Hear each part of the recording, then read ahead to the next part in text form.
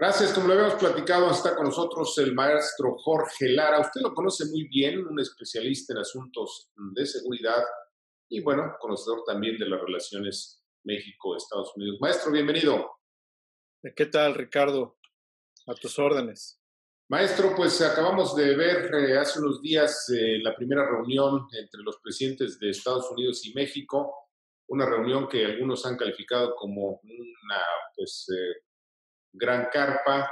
No se trataron los temas fundamentales de la sociedad, sino el interés de los propios mandatarios, quienes están metidos, al parecer, en un tema electoral. Una primera aproximación a este encuentro, maestro Lara.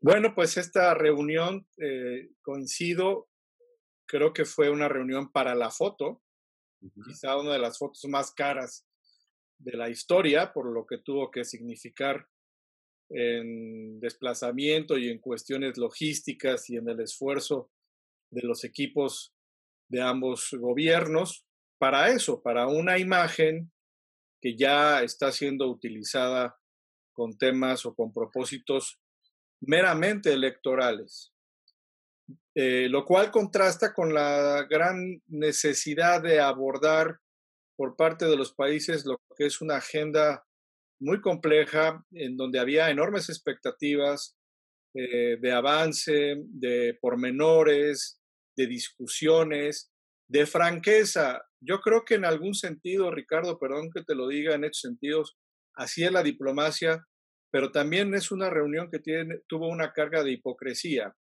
porque, mm, y obviamente es entendible que para las cámaras así tendría que ser, así ha sido toda la vida la historia de las relaciones diplomáticas de todos los estados. Pero, pero tras eh, las puertas de los, eh, de los em, lugares en donde se reúnen, pues definitivamente tiene que haber una disposición al diálogo franco y, eh, y honesto y cándido para poder avanzar en lo que es una circunstancia de apremio enorme de nuestros dos países en una agenda muy compleja de muchos temas, es una agenda muy cargada de temas y en un contexto de pandemia. Entonces, el resultado fue simbólico y efectivamente utilizado por ambas eh, partes, por los dos presidentes, que no, que no ocultan de ninguna manera su inclinación a seguir en campaña y desde luego el presidente Trump ya abiertamente en campaña. A ver, vamos a ver, habló usted de la agenda, eh, maestro Lara, eh, el tema de la violencia, la inseguridad y las armas. Me parece que ese es uno de los primeros y probablemente el tema después de los migrantes más importante. ¿Qué hay con el tema de la seguridad, la violencia y las armas? Es un tema que ambos países eh, nos, nos, golpea de una manera muy, muy importante. La enorme violencia que no solamente no disminuye en nuestro país, sino que cada día se incrementa más, cada, cada día eh, se alcanzan registros históricos de homicidios y de ejecuciones, eh, multi ejecuciones en distintos puntos de la geografía del país y en, el, eh, contra, en la contraparte pues existe el problema acucioso del tráfico de droga, ahora esta nueva línea de negocio multimillonario que es el tráfico de fentanilo a los Estados Unidos, que a ellos les ha significado y les significa Em, la muerte de entre 50 y 60 mil norteamericanos por año adicionales al problema que ya tenían acumulados.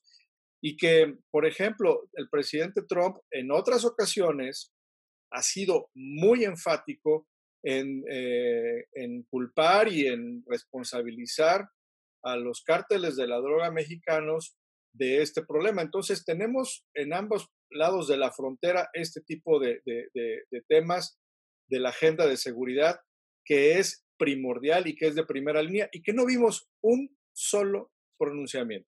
¿Por qué no hubo ningún pronunciamiento, ninguna atención a este eh, eh, complejo tema? Pues a reserva de que los equipos técnicos, de que los gabinetes de seguridad eventualmente puedan avanzar, era muy importante que los presidentes se pronunciaran, ¿no? Eh, no, no, el, gran público no necesita eh, pormenores ni explicaciones profusas, simple y sencillamente que se dé cuenta a la opinión pública que se está trabajando con sentido, con visión de largo plazo y con una, eh, con una digamos, agenda compartida.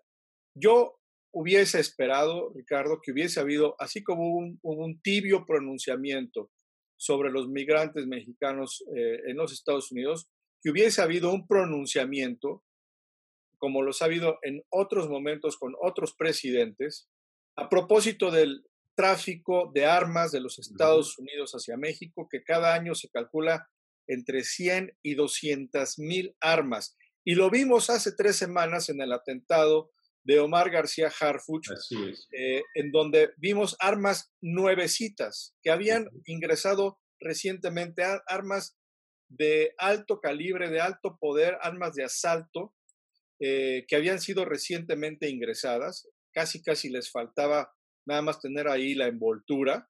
Em, y que no se dijo nada de este tráfico inmenso y que yo por, más que he estudiado el asunto, por más que he analizado el asunto durante muchos años, no veo otra solución más que reinstalar la ley Clinton que prohíbe la venta de armas de esta naturaleza en las tiendas eh, de armas de los Estados Unidos. Pero ni por asomo lo dijo el presidente Obrador. Me parece que eso, pues de alguna manera, deja vacíos y genera pues ciertas insatisfacciones muy justificadas de parte pues, de, grupos de la sociedad que querían que estos temas se toquen. Esperemos que en la agenda, digamos, de segundo nivel, pues se pueda avanzar, pero los mensajes políticos, tú lo sabes, son muy importantes. En un minuto, ¿qué pasa con los migrantes? Literalmente los ignoró el presidente mexicano. Bueno, pues ya, ya es claro que lo único que el presidente tiene interés sobre los migrantes, pues son las remesas que además eh, no es mérito del gobierno el hecho de que puedan estar subiendo los niveles de remesas, al contrario, hay otro tipo de fenómenos que lo explican, pero no, no hubo esta solidaridad que, por cierto, fue utilizada como una bandera de campaña de López Obrador durante tantos años. Ahora vemos que esas viejas banderas, esas viejas consignas de campaña, pues ya le estorban al presidente, ¿no? Y bueno, pues eso también tiene que ser eh, un aprendizaje para aquilatar las propuestas y la acción de gobierno de este presidente. Si nos permite, maestro, vamos a una pausa. no se vaya, tenemos más